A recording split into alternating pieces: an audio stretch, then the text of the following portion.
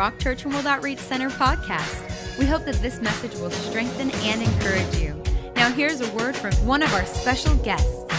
Let's go ahead and pray. Father, in the name of the Lord Jesus Christ, we are so thankful tonight to be blood washed, to be blood bought. Father, we're so thankful that when we were lost, when we were separated from you by sin, that you sent Jesus to this earth Lord, He was destined to do that before the world was founded. Lord, before humanity ever had a problem, God, you already had your solution in store. And we're so thankful for Jesus tonight. We honor the love, Father, that you've shown to us in sending Jesus Christ to the earth to shed his blood, to die on the cross, to be raised from the dead, and to give to us as an absolute free gift the gift of eternal life, to make us your children, to cleanse us, to make us righteous. Lord, just to, to give us right standing in your family.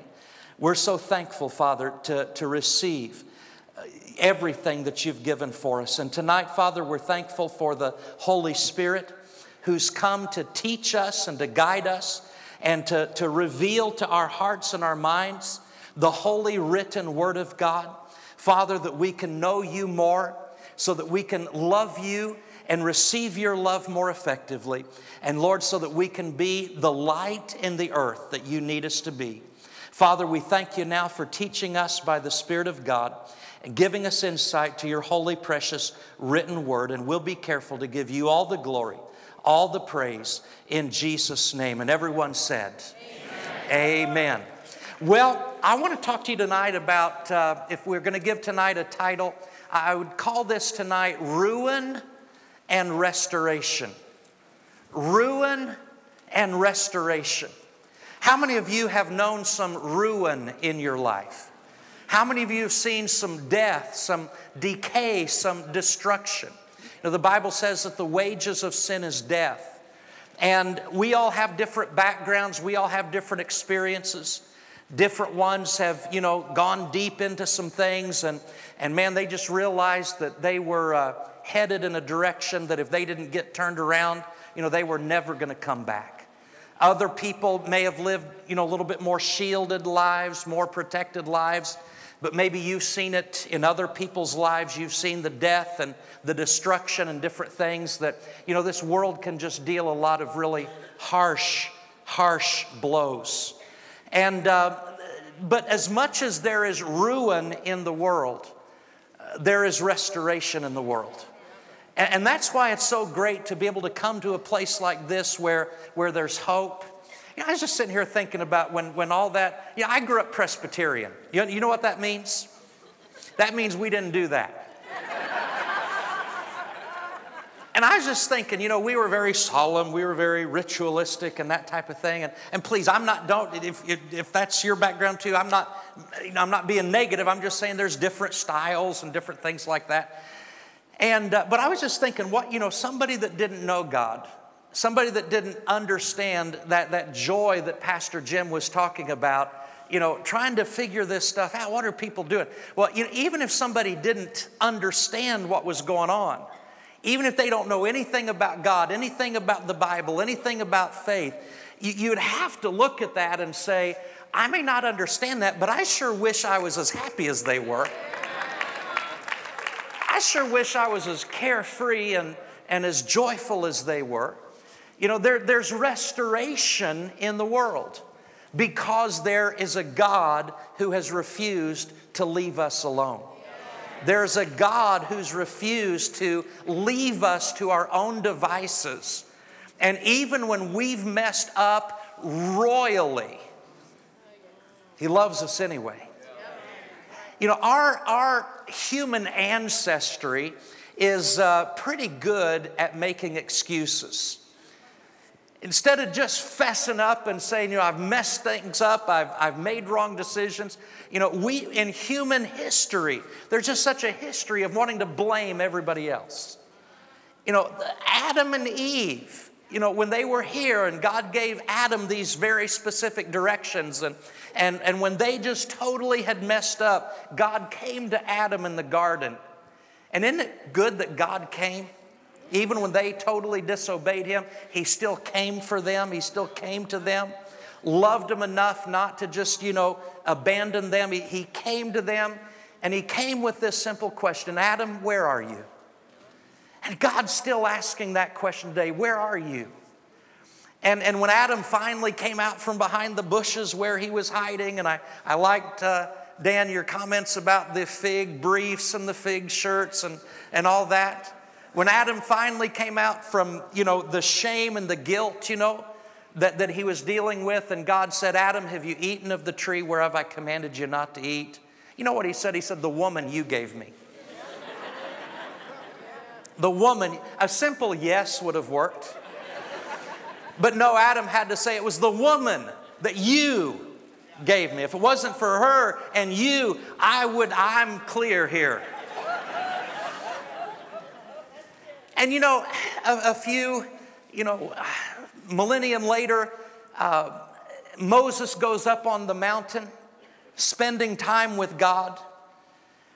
And Aaron, his brother, you know, the associate pastor, so to speak, I like what a friend of mine says. He says, while Moses is up with God, Aaron throws the biggest frat party that had ever occurred on the face of the earth. And Moses comes down from the mountain. He's been up there for 40 days and nights, and, and, and I mean, the, he is 100 watts full of the glory of God. And, and he comes down to this party that just debauchery and worshiping false idols and who knows what was going on, but it was not good. And he goes straight from, from the, the pinnacle of, of a divine glory uh, to, to being confronted face to face with sin and debauchery, and Moses' face is radiating with glory. And, and he looks at Aaron and says, Aaron, what is this that you have done? And Aaron, who had sculpted the golden calf, said, Oh, Moses, don't get upset. You know how these people are. They're inclined to mischief. He said they, they wanted, I just put the gold in the fire and out came this calf. See, God is a God of truth. And, and God doesn't play games. I read somewhere on a bumper sticker recently something about quit messing around with God. Did I read that somewhere? God didn't want us to mess with Him, He wants us to be honest with Him. But, but in our human ancestry and in our human culture, nobody wants to take responsibility for anything. Nobody wants to take ownership of anything. Let me give you some, some good reasons. This is, you know, why bother being a responsible adult when you can give excuses? For example, my inner child made me do it. I missed my nap time. This candy bar is just to give me the energy to exercise. I haven't been the same since Elvis died. I was having an OBE, out of brain experience. There was a full moon, or at least a pretty full moon. You're thinking in black and white, think in shades of gray. These are all things that you can, you know, excuses that you can use instead of acknowledging something. How about this one? My convergence wasn't harmonized. If you're from the hippie era, you will understand that. How about this? This is another excuse. I learned the wrong seven habits. When you've messed up and somebody's calling you to, you know, account for messing up, minimize it. Say, you call this a problem? The Titanic, that was a problem. You know, but people a lot of times they just don't want to say, I'm sorry, I was wrong, I messed up, I missed it. They won't fess up and won't uh, make up. Uh, insurance companies have kept track of some of the things that have been written down on some insurance forms about accidents. One person wrote on an accident report form for their insurance company Coming home, I drove into the wrong house and collided with a tree that I don't have. Another person wrote, As I approached the intersection, a stop sign suddenly appeared in a place where no stop sign had ever appeared before. I was unable to stop in time to avoid the accident. Another person on an insurance form wrote, My car was legally parked as it backed into the other vehicle. Another said, An invisible car came out of nowhere, struck my vehicle, and vanished. I love this one. The telephone pole was approaching fast. I attempted to swerve out of its way when it struck my front end. The woman you gave me. we just love, we, we just, there's something about the flesh, the carnal nature, that just doesn't, you know, shame or condemnation. We just don't want to say, but you know, one of the most liberating things in the world is just to be able to stand before God and say, God, you know what? I need your mercy. Without your mercy, I've sinned, I've come short of your glory. There's two things that are at work in the world one is ruin, and one is restoration. Jesus said this in John chapter 10, verse 10. He said, The thief does not come except to steal, to kill, and to destroy. If you just want to put this in the column of your Bible or somewhere, just write the word ruin. The thief comes to steal, to kill, and to destroy. There are forces at work in this world that are just simply there to rip you off. And so many of the time, so much of the time, what Satan brings never advertises the, the long term result. He'll show people the short range pleasure of sin, but he won't show people the long range sorrow. The thief comes to steal, to kill, and to destroy. Everybody say, ruin. ruin. And then Jesus said, But I have come that they might have life and that they might have it more abundantly. Restoration. Two forces at work in the earth today ruin and restoration. And just getting honest with God is one of the quickest ways to get off the, the path of ruin and to get on the path of restoration. You know, sometimes I think even we're too quick to blame everything on the devil. I believe there are evil spiritual forces in the world. I believe what the Bible says about, you know, an angel, Lucifer, who tried to exalt himself above the throne of God, who was kicked out of heaven. You know, the Bible teaches that there are demonic spiritual forces on in the earth today that are operating to blind the, the minds of men so that they don't see the truth of the gospel. You know, the Bible talks about the tempter, the, the temptations of the world. I, I totally believe in, in spiritual forces in this earth that are malevolent toward man. But they're not greater than the Spirit of God. And, and, and one thing about it is this, the devil is not omnipotent. The devil is not omnipresent and the devil is not omniscient. He's not all powerful, he's not everywhere, he's not all knowing. He is an angelic being, he is limited in his scope and operation. And I don't want to give him more credit or glory than I don't want to give him any glory, but, but I don't want to magnify him in any way, shape, or form. And sometimes I just think it's a cop out for Christians just to blame everything on the devil. I remember one time many years ago, a man said, Yeah, Brother Cooke, the, the devil's really attacking my marriage. Well, I knew a little bit about how he was treating his wife. And if the devil was attacking his marriage, it was because he, the husband, was giving the devil all the ammunition. I understand there are evil spiritual forces in the world, but I also understand that we are free moral agents and that the devil's not responsible for everything that happens. Sometimes we do it to ourselves. Sometimes we are our own worst enemy. You know, yeah, there is a thief that comes to steal, kill, and to destroy, and there is Jesus who comes to give us life and life more abundantly. But if you go back in the book of Proverbs, you find there's two competing influences trying to establish influence in the hearts of men and women, and it's foolishness and wisdom. And when we yield to foolishness, when we yield to disobedience, to rebellion, to doing life and conducting ourselves contrary to the, to the known will of God, then we, we put ourselves on that path of ruin and we do more damage to ourselves than the devil does.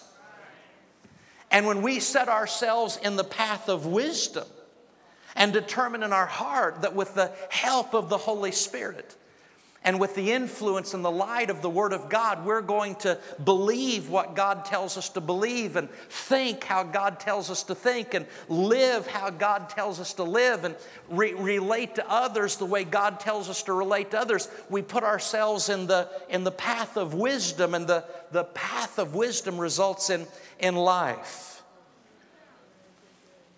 Much of our ruin in life, and I say this not, not wanting to project any condemnation, but, but just we just need to be honest about it. Much of our ruin in life is self inflicted. And much of our restoration requires our cooperation with God. Now, can we say that truthfully? Without projecting any kind of condemnation. We're not here to beat anybody over the head for past mistakes. That's why we're here because God is a God of new beginnings. His mercies fail not. He gives us opportunities to start again, cleansed and washed and pure by the blood of Jesus. But we can't step into the path of restoration if we're not acknowledging when it is the case that we are the ones that need to make a decision and turn to God and turn to God's way and not simply blame everyone else. Hosea chapter 13, verse 9, amazing verse.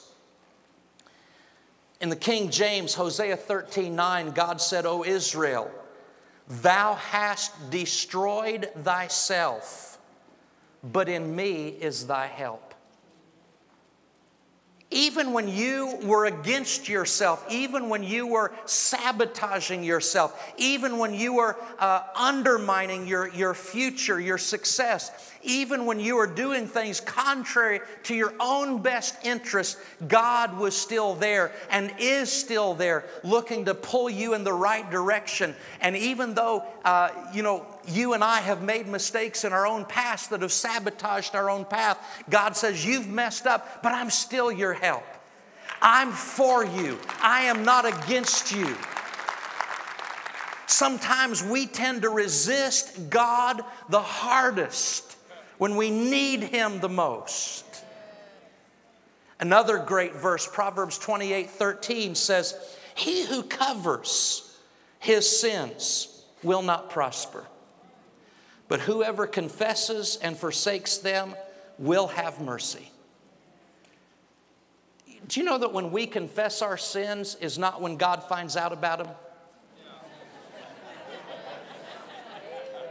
we don't do that for his benefit, like, oh, really? I didn't know you did that. Really?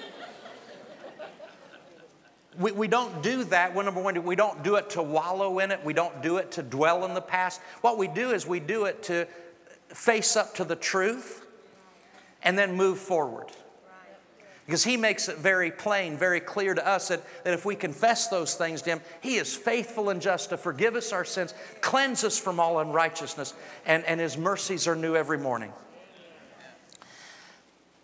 A man, I love what one individual said. He said, A man can fail many times, but he isn't a failure until he begins to blame somebody else. Let me tell you two, two all important questions that every one of us has to answer in our life. Number one, we have to answer the question. We may never consciously go over these questions, but everybody is living out these questions. But we need to consciously know what they are and then make the right decision. Number one, this question What am I going to allow to influence my life? What am I going to allow to influence my life? You have to make that decision. Are you going to let the mentality of the world be the predominant influence of your life? Are you going to let the messages coming out of Hollywood? Are you going to let, uh, I mean, we could just, you know, the Bible says in the last days there will be perilous times. People will be lovers of self rather than lovers of God, lovers of pleasure. You know, what is it that's going to determine our values? What is it that's going to determine our priorities? How, what, what's going to determine how am I going to treat my wife? How am I going to treat my children? What influence? Where am I going to learn that stuff? You know, maybe we had good role models at home. Maybe we didn't have good role models at home. Maybe we didn't have any role models at home. But, but what's going to be what's going to be the governing influence of our life? You know, Jesus said, there's two great commandments. You shall love the Lord your God with all your heart, soul, mind, and strength. And the second is like unto you shall love your neighbor as yourself. Show me a person who has made a rock solid decision that I will live for the commandment of God. Not only the great commandment, but I'll live for the great commission. I'll show you a person who their life begins to come under different influences. Their life begins to be influenced by the Word of God, by the Spirit of God, by the wisdom of God, by the love of God. And whatever you allow your life to be influenced by will, will affect your, your spiritual and emotional DNA. What is going to be the influence of your life? See, all of us have the potential to let past junk be the influence of our life. Somebody told you you'll never amount to anything. Somebody told you that, you know, uh, life is terrible. Just go for the gusto. Just get what you can get while the getting's. Is that what's going to influence your life? Some of us have had experiences of abuse and abandonment. And so we've learned that life is all about protecting ourselves and hurt somebody else before they can hurt you. Build up walls and live behind walls forever. Maybe we've had unhealthy, dysfunctional relationships that have, have, have ripped us to the core of our being. But is that going to be the, the main influence of our life? Is the ruin going to determine who we are? The first question we have to ask is what's going to be the influence in my life? And secondly, what am I going to take ownership of? Now, you may have been influenced by some things, but you don't have to take ownership of them. Maybe somebody ripped you off. Maybe somebody betrayed you terribly.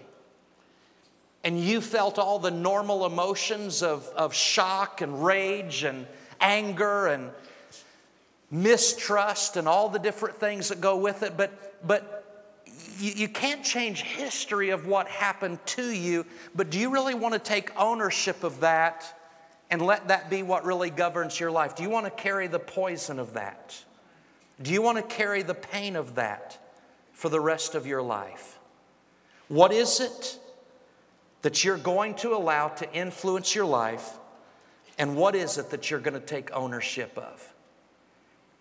Do you want to be the person that the garbage of the world, the pain of the world, the, the uh, instability of the world, the uncertainty of the world forms you into a person? Or do you want to let the love of God make you the person that God wants you to be? You, you can't change what's happened to you historically. But you can make a decision about what you're going to take with you on the rest of the journey. I want you to look at a verse. This is a, a verse I just came across oh, a month or so ago in the message version. 2 Corinthians 6 11. Paul was having a hard time. I heard Pastor Deborah teaching about how the Corinthians were getting drunk at communion. And, um, you know, to even amplify on that, they weren't just getting drunk at communion, but they were suing each other. in court. Paul called them babies, said, You're a bunch of spiritual babies, you're carnal. Um, they just, uh, the Corinthian church was a mess. Paul loved them so much, but there came a point in time where the Corinthian church got upset with Paul and they basically were under an influence to not accept the word of God that Paul was preaching. And in a moment of, it was real frustration, Paul said this to them, 2 Corinthians 6 11. He said, Dear, dear Corinthians, I can't tell you how much I long for you to enter this wide open, spacious life. We didn't fence you in. The smallness you feel comes from within you. Your lives aren't small, but you're living them in a small way. I'm speaking as plainly as I can. Now, another way of that is no bull. I'm speaking as plainly as I can and with great affection. Open up your lives. Live openly and expansively. D- does that impact you the way that impacts me? Because all of us, eh, we can live big to the world and small to God or we can live big to, the, big to God and small to the world. Me put it another way. You can be Velcro or you can be Teflon. As a matter of fact, let me put it this way you are Velcro and you are Teflon. Because something is sticking to you and something is sliding off of you. It just is an issue of what are you Velcro to and what are you Teflon to. You know what Teflon is? Teflon's that stuff they spray on the cooking pan so stuff doesn't stick. Let me tell you what Satan's plan is for your life. Satan's plan is for when it comes to the world and the junk and the garbage and the attitudes and the, the behaviors of the world, Satan wants you to be Velcro. He wants it to stick to you. He wants every hurt, every offense, every bitterness, every bit of unforgiveness, every bit of it. He wants you to be Velcro to all that. Just have all that. And when it comes to the things of God, he wants you to be Teflon. He just wants it to all slide off of you. You want to know what God's plan is for your life? God's plan for your life is this when it comes to Him and all the things He has for you, He wants you to be Velcro. It all sticks. When it comes to the, the things of the world, He wants you to be Teflon. Just have that stuff slide off. But you're going to have to decide. The Corinthians had gotten themselves in a place where they had gotten their, their attitudes were out of joint, they, they were torqued, they, they, were, they didn't trust Paul anymore. They, and we don't want to go the way Paul's telling us to go. And Paul said this He said, The smallness you feel comes from within you. Your lives aren't small, but you're living them in a small way. When we get out of sorts, when we get out of fellowship with God, when we decide we're not going to listen to the Word of God, when we decide that, you know, we're not going to avail ourselves to the worship and the praise of God, and, and I'm not just talking about going through the motions, but I'm talking about with all of your heart you open your heart to God and say, God, I am yours. I am not my own. I'm in this world, but I'm not of this world. I'm a citizen of heaven. And God, I want everything that you have, everything of your spirit, everything of your word, everything of the fruit of the spirit, everything of the gifts of the spirit. I want everything you have, Father, to, to, uh, to flood into my life. I want to live big, God, in you. And I want to live really small when it comes to the world. Paul was begging the Christians to set their heart in that direction. But we have to make decisions, we have to take action. We have to make decisions. I'm going to quit blaming people. I'm going to quit blaming circumstances. Stuff has happened historically, but you still hold the key to your future. God said, I set before you life and death, blessing and cursing. Choose life. Nobody can take that away from you. Lady, Elinor Smith, said, People of accomplishment rarely sat back and let things happen to them. They went out and happened to things. You know, one of the, one of the greatest stories of the Bible, in my view, is the story of Joseph. Because never did, a, did an individual experience so much junk and have so much hurt thrown his way. He was betrayed by his older brothers and sold into slavery. They thought about killing him, and he knew that. They decided to sell him into slavery instead. Isn't, isn't that nice and comforting? He ended up a slave in a foreign land. He was lied about by his employer's wife, his boss's wife, and thrown into prison. He was forgotten about by an individual who promised that he would help him get out of jail, and that individual that he had helped promptly forgot about him. I mean, if anybody had known abuse, abandonment, rejection, if anyone had reason to be full of bitterness and cynical about life, it was Joseph. But I love what Genesis 39 20 says. It says, Then Joseph's master took him and put him into the prison, a place where the king's prisoners were confined, and he was there in the prison. But the Lord was with Joseph and showed him mercy and gave him favor in the sight of the keeper of the prison. Here's the thing about Joseph he was in the prison, but he never let the prison get in him. He had that choice. He could live with he could live just stewing and thinking about all the people that had done him wrong or he could think about the one who would do him right. And he made a choice. He made a choice to live in the favor and in the mercy of God.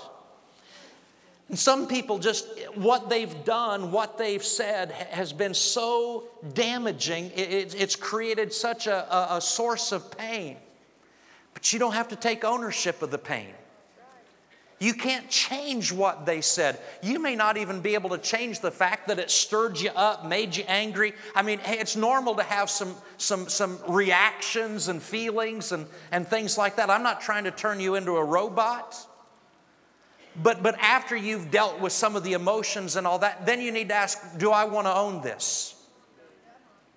Do I want to carry this with me the rest of my life? Do I want to carry this around as baggage in my life? And let me tell you one of the greatest things you can ever decide when you've been messed with by life, when people have done you wrong, is embrace this truth. What they did was a reflection of who they are.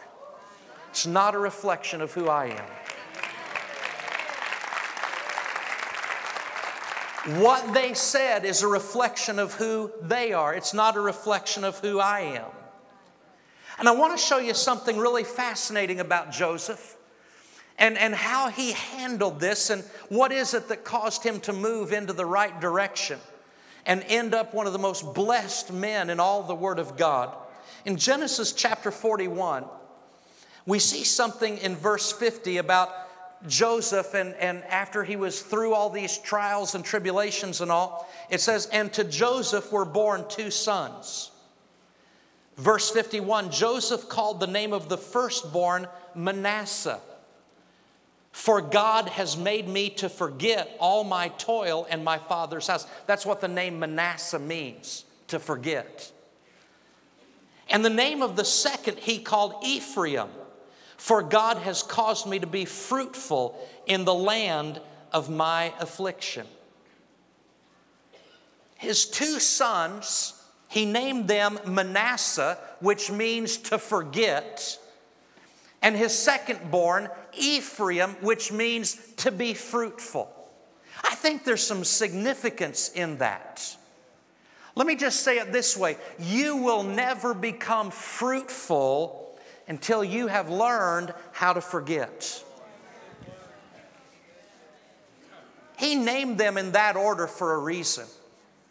You will never be fruitful until you have learned how to forget. See, we're talking tonight, we're talking about not making excuses. We're talking about what influence we're going to let uh, prevail in our life, what we're going to take ownership of. And Joseph had to come to the determination I was sold into slavery, but that's not because that's who I am, that was who my brothers were. I was lied about, but that's not about who I am. That's about who Potiphar's wife was. I was forgotten, but that's not about who I am. That's about what that individual, those were their issues. I refuse to let them be my issues for the rest of my life because I'm not going to let somebody else's hangups and sin uh, become a ball and chain for me to drag around the rest of my life. I'm not going to allow somebody else's bad decisions to mess up my future destiny. But I can't forget, I can't forget, I can't forget. Well, let's, let's talk about what it means to forget. Let me tell you some things that forgetting is not. Forgetting is not amnesia. It's not absent mindedness. It's not a denial of the facts. It's not suppression. It's not ignoring reality. Here's what forgetting is forgetting is a process whereby the former events lose their power to control your present or dominate your future. Forgetting does not erase history, but it eliminates the past being the predominant factor in your life. Let me just say that to you again. Forgetting is the process whereby former events lose their power to control your present or dominate your future. Forgetting does not erase history, but it eliminates the past being the predominant factor in your life. In other words, you don't forget in the absolute sense of no mental recall whatsoever, but even though that information is there as a historical fact, it's no longer the governing, empowering, dominating force or influence in your life. Historically, you know it happened. But redemptively, God has done something in your life that is so much bigger than that that God's favor and God's mercy just causes you to look back on that thing and say, yeah, it happened, but it, it's not the, it's not, why would I focus on that when I can focus on this?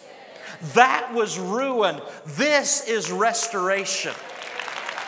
This was the garbage and the junk of the ruin of sin, but these are the blessings of the favor of God that I have now that I'm a blood washed, blood bought child of God.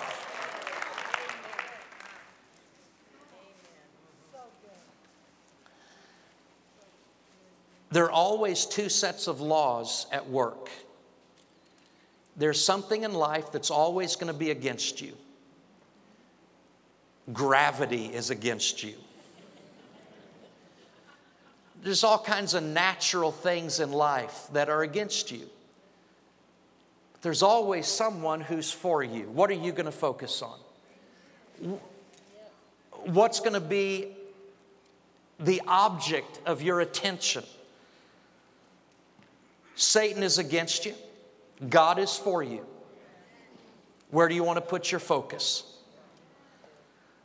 Let me give you a phrase here the higher law will always lead to the higher life. The higher law will always lead to the higher life. The law of the Spirit of life in Christ Jesus has made us free from the law of sin and death. You can live your life reacting to every junk thing that happens. You can live your life irritated by people. You can live your life disappointed with circumstances. You can live your life, you know, uh, uh, bemoaning, you know, things of the past. Or you can believe that we serve a God who restores and that He has favor for you, He has mercy for you, He has a plan for your life. Even if you've messed it up to the max, God says, O Israel, thou hast destroyed thyself, but in me is your help. I'm still here. I've still got a plan, and it ain't over till it's over. And God will have the last word. Just always remember there's ruin and there's restoration, but which are you going to hold on to? Which are you going to focus on? We could just we could give you dozens and dozens of scriptures that point out the ruin and the restoration. We started with one, John 10 10. The thief comes only to steal, kill, and to destroy. There's the ruin. But I've come that they might have life and have it more abundantly. There's the restoration. What about Romans 6 23? The wages of sin is death. There's the ruin. But the gift of God is eternal life. There's the restoration. Jesus said, In the world you will have tribulation.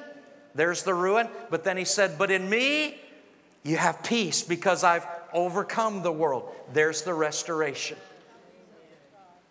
What are you going to allow to influence your life?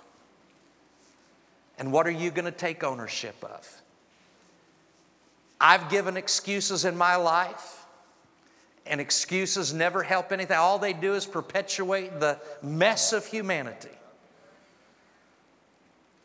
But we get into the stage of no bull, just get honest with God, let Him influence you, let Him influence you more than all the news reports.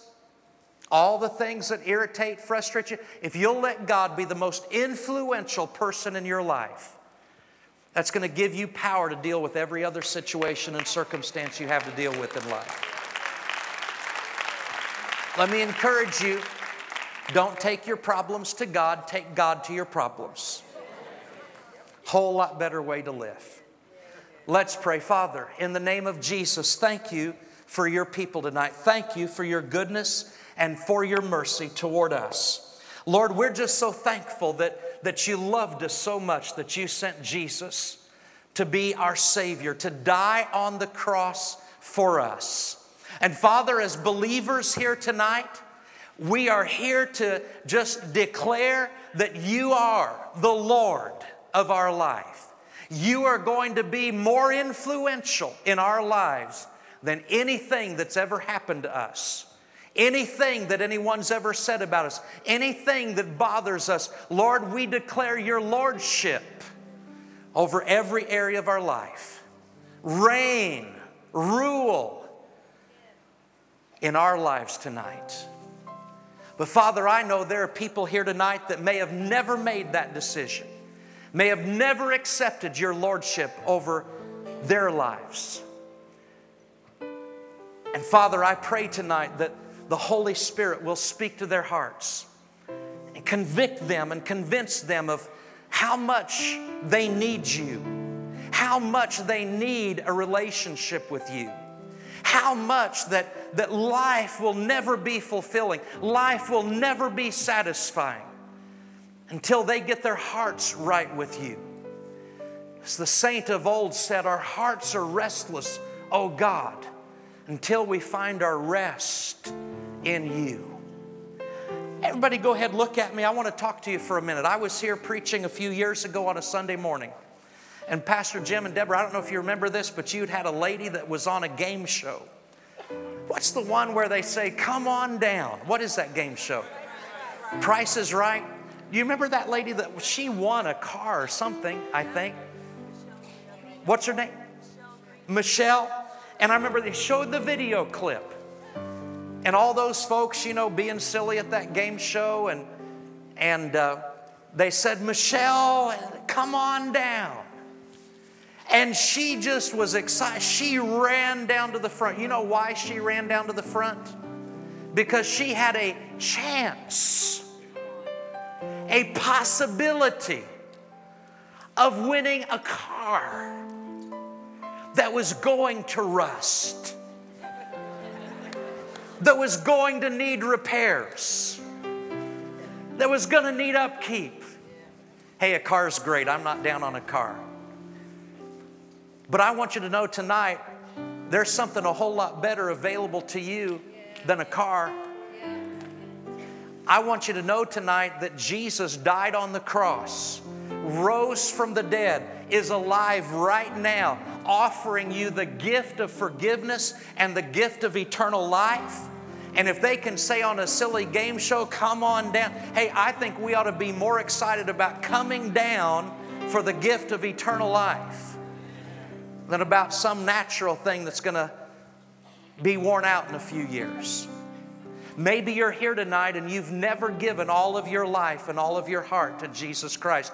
Tonight is your night to do that. You, you, may be here tonight thinking, why are these people so, you know, happy and joyful and all that? It's because they have something in their life. They're not perfect, they're still learning, they're still growing.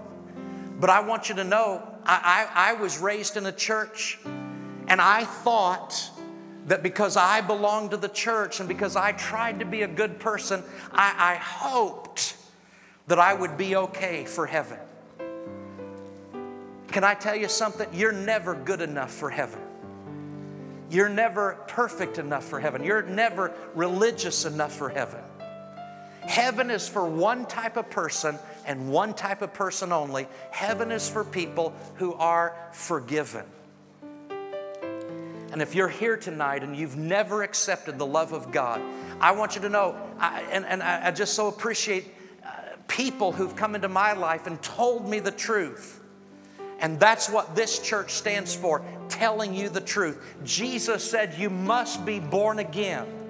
He didn't say it's a good idea, it's a nice thing, it would be a good option. No, he said you must, it's an imperative. We have to have a new heart, and that only comes from putting our faith in the Lord Jesus Christ. It doesn't come from trying harder, it doesn't come from trying to clean up your own act. It, it's a gift that God gives us when we give all of our life and all of our heart to Jesus Christ. In just a minute, we're going to invite you, if you've never made Jesus the Lord of your life, we're going to invite you to come down so we can pray with you and believe God with you for a brand new beginning, a brand new start.